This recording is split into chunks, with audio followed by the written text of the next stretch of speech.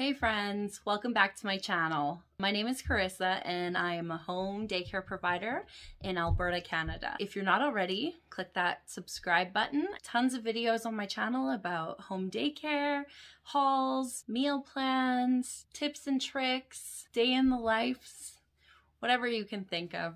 I, I've probably got it in the works. So make sure you're subscribed. All right, let's get into our video today. I thought it would be a good idea to do kind of like an interview tips for interviewing, I guess. Things that I've come across, questions that I ask when I'm interviewing, things I want to know to see if this family is right for me. So I thought I'd put together a list. I've been working on it this week of different questions and different things that I would suggest you watch for and you ask when you are having your in-home daycare tour and just getting to know the family. So let's get right into it.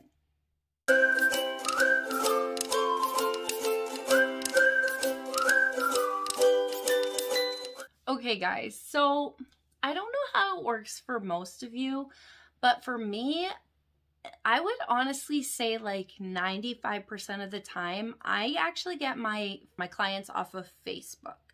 So basically our area has um, like, we call a home daycare a day home here in Alberta. So my area has a day home page and you can post your ads, people can post wanted ads, and every single month it like it gets renewed, I guess. Like you have to renew your ad if you still have spaces. So one of the things I always watch that page. Um, I like to see what which parents are asking constantly. And then when I have space available, I kind of have an idea of like, oh, that person has posted a lot before, maybe stay away.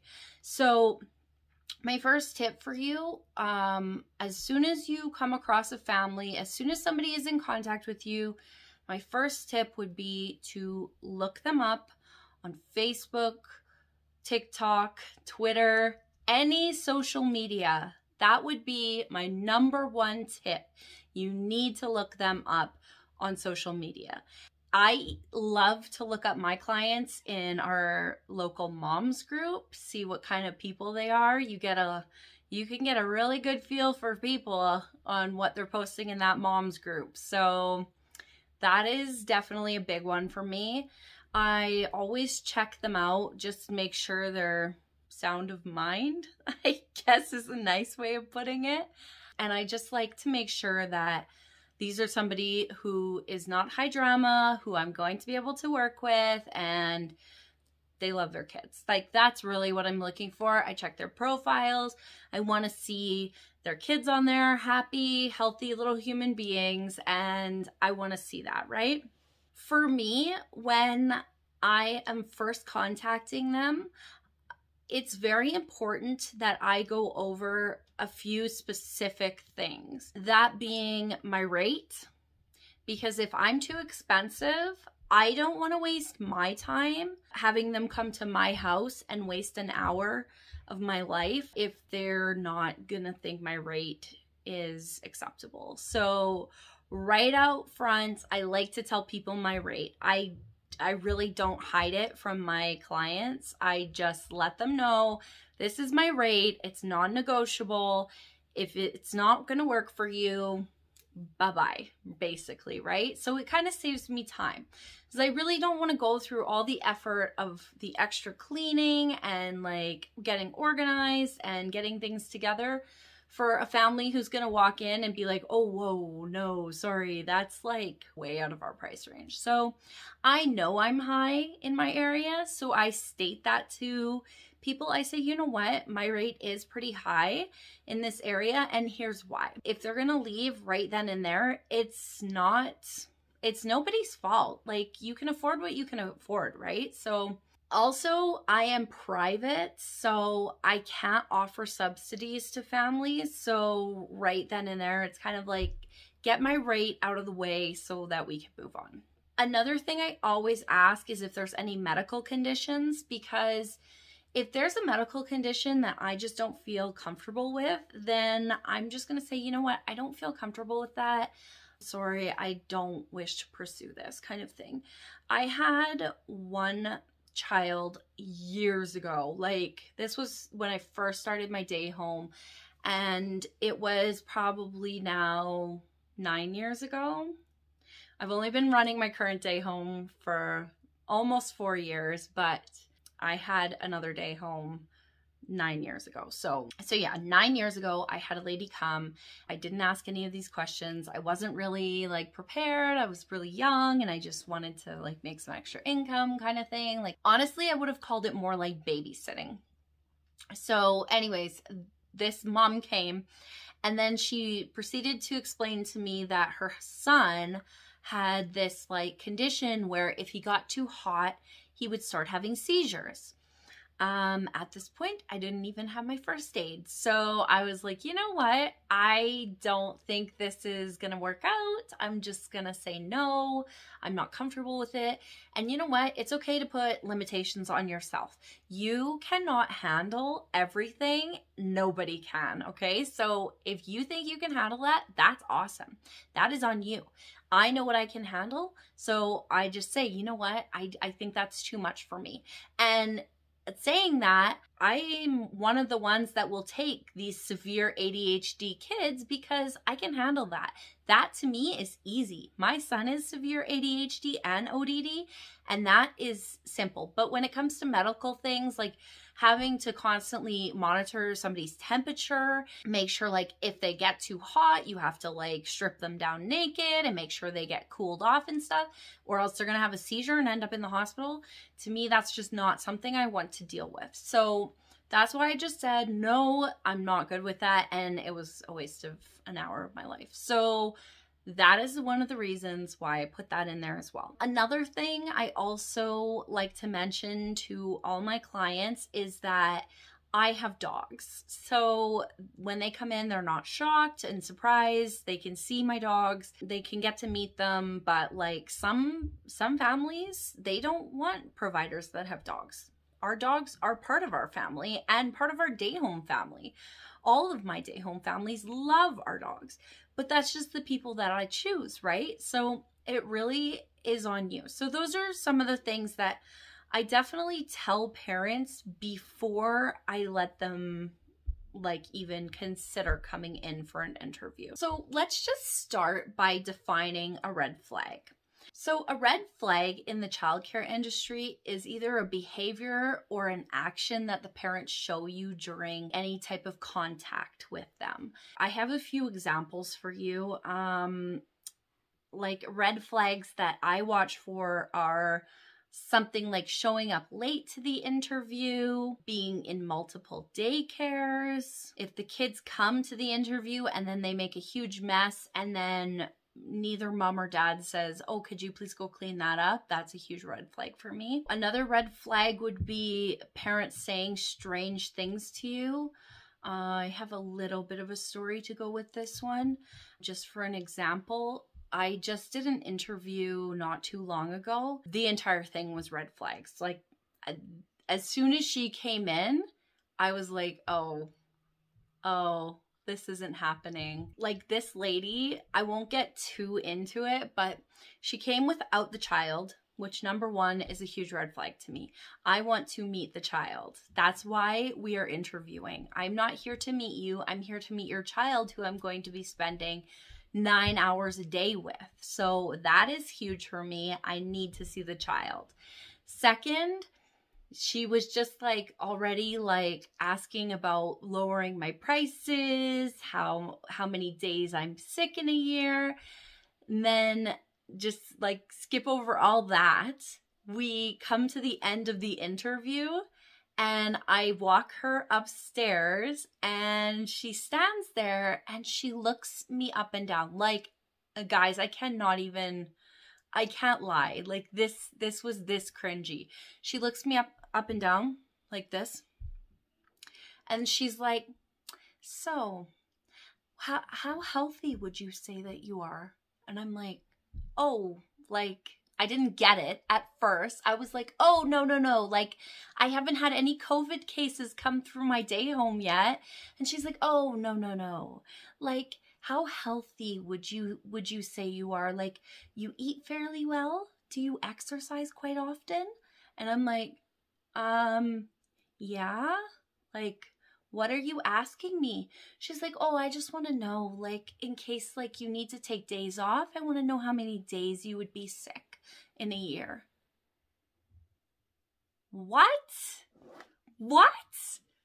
Like who asks that? That was honestly, that was just icing on the cake after everything else that we had already gone through. So another red flag for me, uh, like I said at the beginning, we post on this day home group. And when I see people constantly posting, huge red flag for me. There's some people on that group that like every other week they're posting looking for a new day home. Okay, I'm not taking you because clearly there's a problem. Asking for a different rate. That's always, I always say my rates are non negotiable. I even have it in my contract why they're non negotiable. So if somebody asks me for another rate, no, uh, bye bye. Another one, this one has a bit of a story too. If the kids aren't listening to their parents, they're definitely not going to listen to you. And I know kids can be a little weird around parents. Like, I always have issues at pickup and drop off with the other kids coming to the door and like showing off their cool skills. But no, if a kid is not listening to their parents, like as in really bad, I don't want that kid because that kid is not going to listen to me. I did an interview one time. Mom left the kid in the car and I was like, uh, no, no, that's not how I do interviews. I don't know why people don't want to interview with their kids. But then her kid came in and he was running around my house. Like he was terrorizing my upstairs. And I'm like, this is not even my daycare space. Like, buddy, you need to come down here. This is where my daycare is. And yeah, so he wasn't listening to mom. Mom kept trying to tell him to come down here. Dad was trying to get him to come down here. It wasn't happening. I said, no, I'm sorry, I can't take him. And I, I finished off the interview. So another thing that parents like to do is like, I guess warn you that they're going to do something that goes against your contract. I've had this quite a few times where parents are like, oh yeah, so we're going to need full-time hours, but every like March, we go on a cruise. So um, that month, we'll just take our kid out um, and we'll just pay uh, for the following month. And I'm like, whoa, no. Okay, that's not how this works. You can't pick and choose when you come. You're paying for the spot. You're not paying for me to watch your kid. You're paying for my spot. So that's another thing that I always like make sure if they're going to go against my contract in any way, right as we're doing the interview, I won't take them. So those are just some red flags if you don't know what red flag is. So one of the first questions that I would ask when a family comes in, typically they'll tell you this beforehand and you'll already have a schedule in mind, but nine times out of 10, they always come back with like either more hours that they need or sometimes it's different hours. Sometimes they have different needs that go along with their hours that they don't voice when you ask them what hours they need when you're first making contact. I always say, what hours do you need? And then I make it clear that anything over nine hours is an extra fee for me. They are allowed nine hours of care per day or else it's more money. I need to make that clear in my interview so there's no surprises when they sign up and then they're like, well, you didn't tell me that. Then the next thing I would always ask is, what days of the week they need. Personally, I only take part-time kids right now. I just I get more money out of it, so I always just take part-time kids. So I always say what what hours do you need? What days do you need? And are your days going to change in the foreseeable future? Like, are you going to be adding in more days after the summer? Are you going to be needing a second spot for your second child after the summer. Like that those kind of things just so that I know what like ahead of time what kind of hours they're needing because I need to make sure I'm within my ratio. Here in Alberta, we're only allowed to take six kids a day. So I need to work within those six spots that I have daily to make sure that whatever needs they're going to have, I'm not trying to refill the spot in a couple months because I just can't fill their needs. So that's another very important thing to ask. Is there is there days going to change in the foreseeable future? Uh, the next thing I always ask is, has your child ever been in a daycare before? You definitely want to ask this because it's going to give you some kind of idea on the comfort level of the child. You can always say, have they been in a daycare, a home daycare, any type of preschool program, or even just like babysat by grandma those kids who have already been in a program are going to be so much easier because they're more comfortable. They understand that mom is going to go away and then she's going to come back and get me at the end of the day. So if you're kind of like weighing out which kids you want to keep and which kids you're going to say no to, this is a really good question to ask because you never know. And when you're doing that, you could also get a red flag because maybe they've been to like seven different daycares and you don't want to have somebody who's been to seven different daycares. That's a ton of moving around. That would make me question, oh, is this is this like a thing? Like is she like a helicopter mom or is she just like too hard to handle type parent, you know? So that's something I would definitely consider too. Next question. Sorry guys, if you keep seeing me looking down at my lap, that's because I have my laptop in front of me. I've literally been working on this all week. My next question would be to ask if the child is potty trained. Obviously a baby's not going to be potty trained, but I mean, if they're like two years old and you're doing your interview, it's definitely a question you want to ask. I also do tend to ask if there's any plan in the foreseeable future on potty training and what they would expect out of me when it comes to potty training. So if they're just expecting me to fully potty train their child and them not do it at home and then and then the child just come home and magically be potty trained, that's that's not happening in most cases. I have done that before, but it's like different situations you know so another thing is like i when when i ask that question i definitely want them to know that this needs to be a talked about thing if the child is not already potty trained then i want to know ahead of time when they're planning to start how they want me to help. I don't want the child to just show up one day in underwear and them be magically potty trained and then us have accidents all day. There's a huge difference between home and daycare. Parents don't understand this. At daycare, we our little minds are constantly being worked. There's so much interaction and activities and just constant movement that the child doesn't even stop to think, oh, I need to go to the bathroom. So I definitely like to make that clear with parents. Like they're not already potty trained, then it is something that we would work together on and not just dump it on me. So that's also in my contract so parents know. Next question. I want to know what parents do for work. This kind of just gives me an idea of them and their needs and also just maybe a little bit about them, uh, get to know the parents a little more.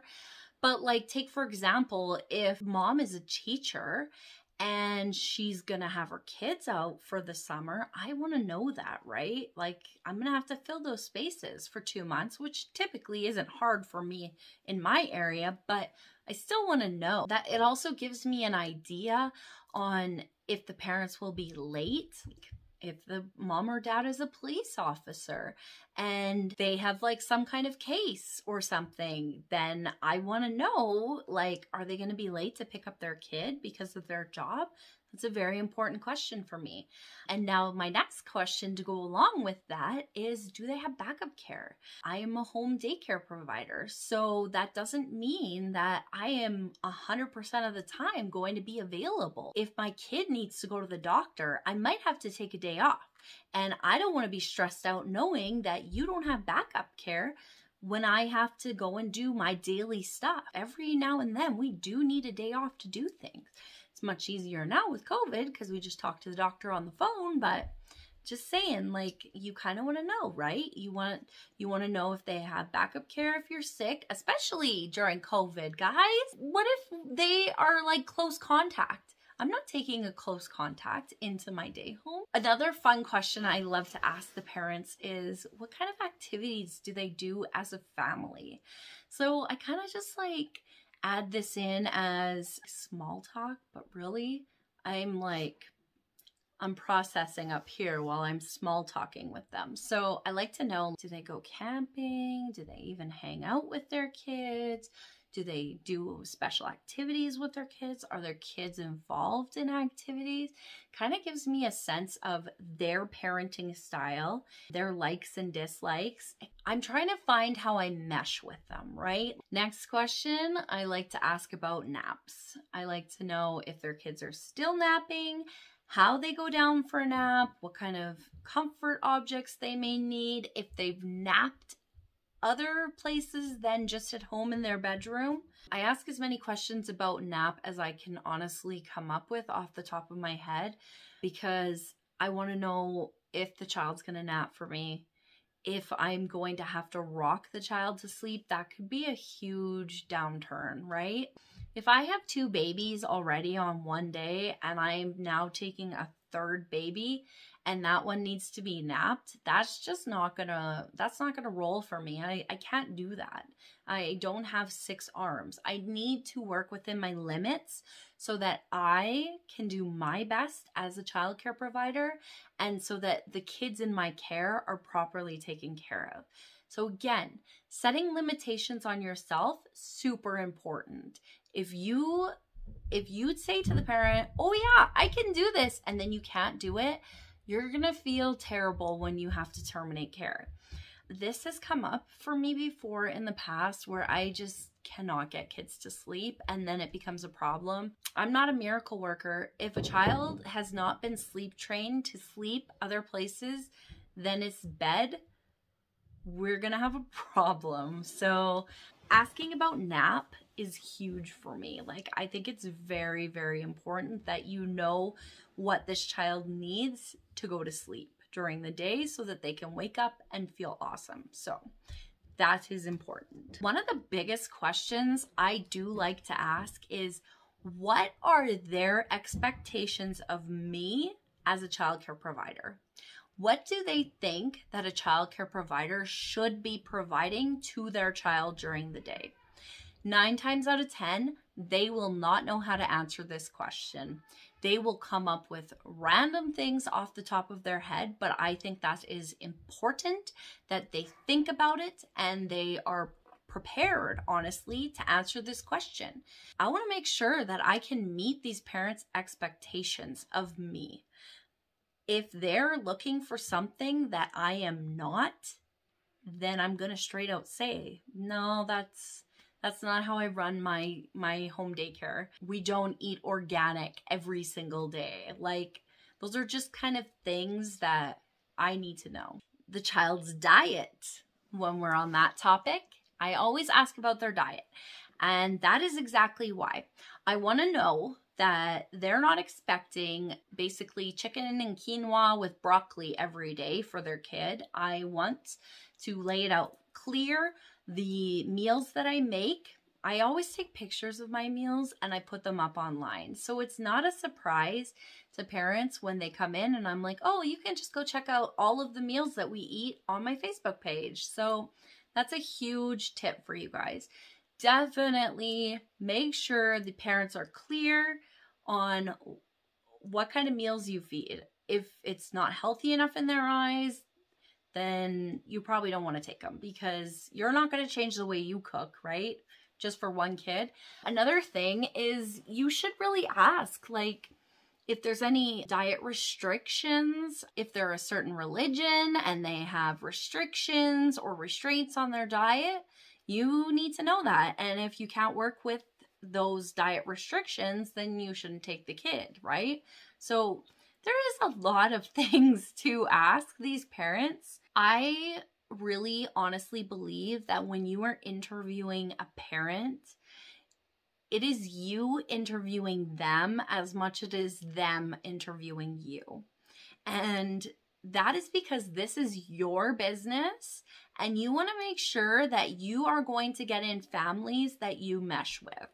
You want people who have a similar parenting style to you.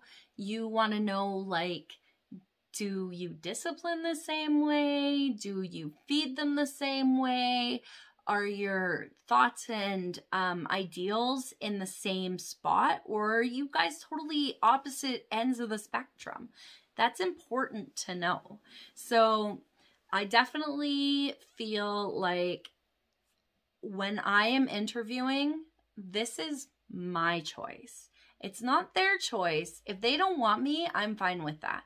But it's do I want them?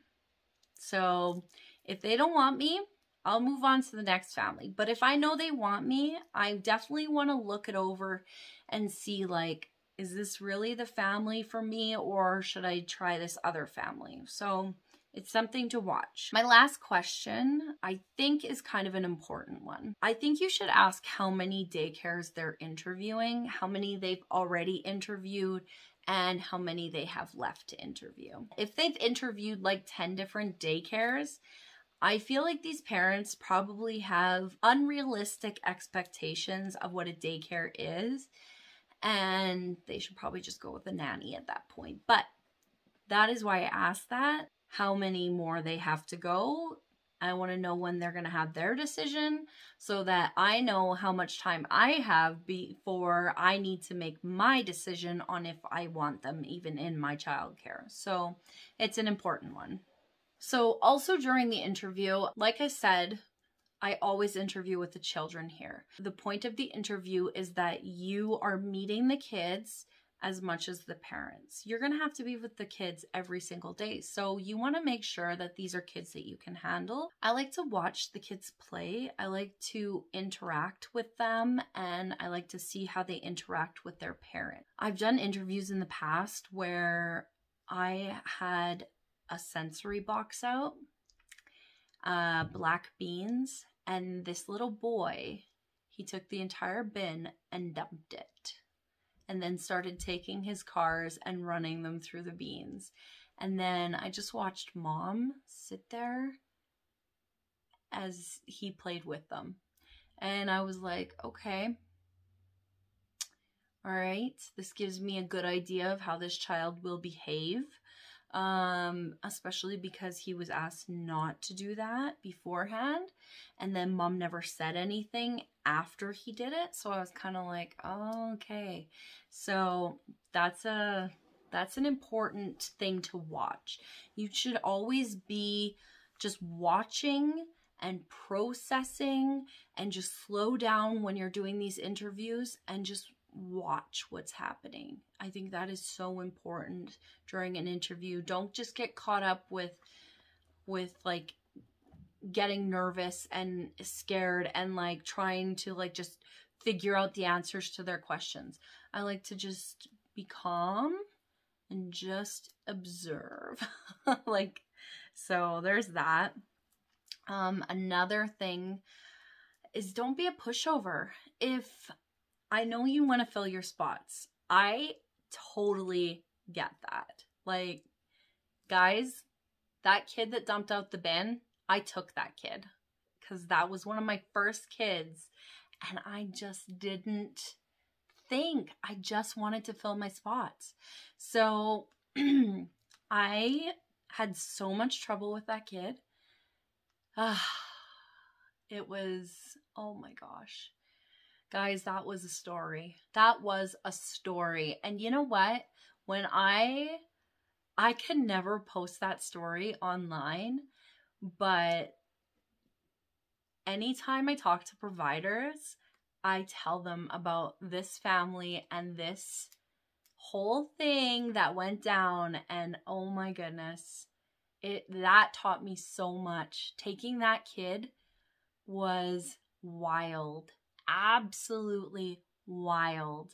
Um, I'll just say CPS did get involved and it was insane. I have never had to deal with a situation like that, and never again will I ever deal with a situation like that. My rules and my the things I do in my day home and my interview process now are so much different because of the situations that have happened for me. And I really believe this is something that you need to do and work on. And as you progress through the years of watching children, you are going to grow exponentially.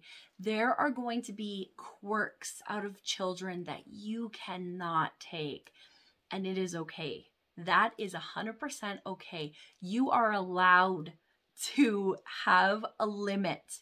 And sometimes we need to remember that and not just take in any kid because we need the money. For me, that was my mental health. That, taking that kid, that destroyed my mental health while he was in my home. And I will never do that again. I just won't. So now, if a kid is not meshing well with me or my group, or I see that they're being disrespectful during the interview, or I see those little quirks that I don't like, I just back away. I just, I'm very friendly about it.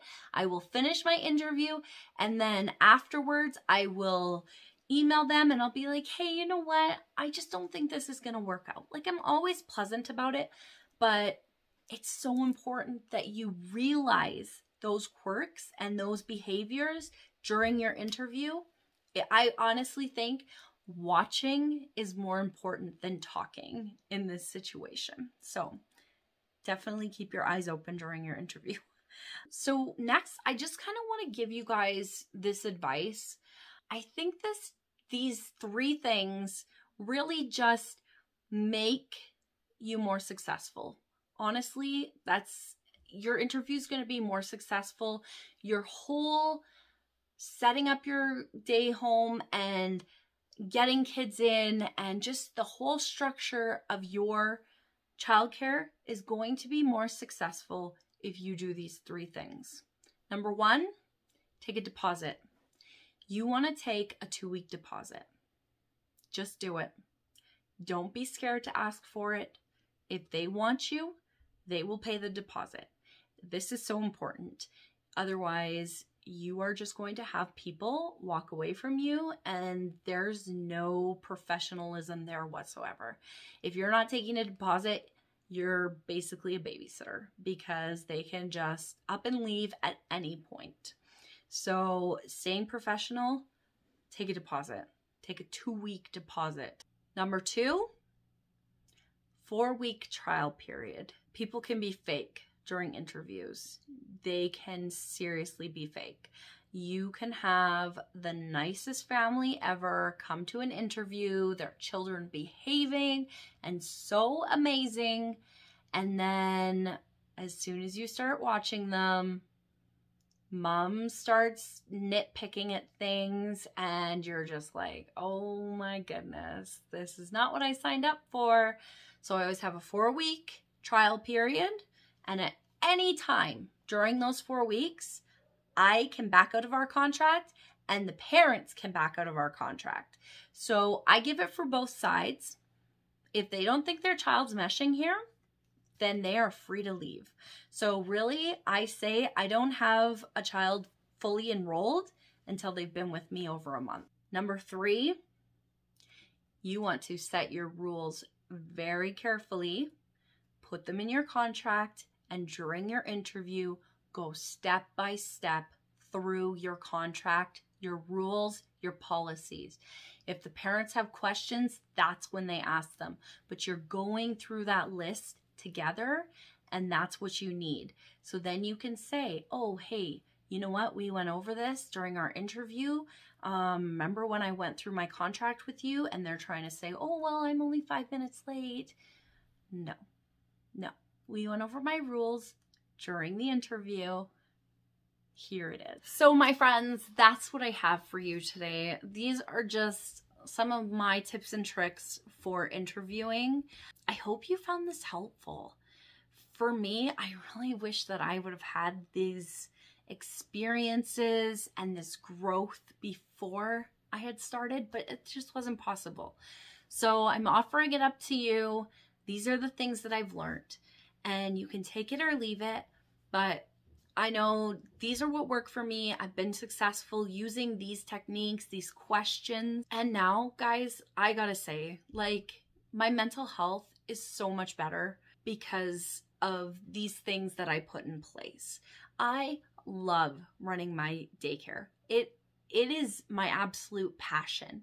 This is the job I would pick above all others. I love that I can stay home with my kids. I love hanging out with kids. It's always been a passion of mine. And I love that I can make more right now being a home daycare provider than I could at any other job without a college degree. I'm making as much right now as a home daycare provider as somebody with a college degree. So for me, this is my dream job. I never want to quit doing this job. It is amazing. It is amazing. The kids that I have come through, it's so rewarding for me to just see the growth in the kids. And I just, you know, it's so important to pick kids that you mesh well with. And that's really what this job is about. If you've made it all the way to the end, you are awesome. Thank you so much. Um, please subscribe.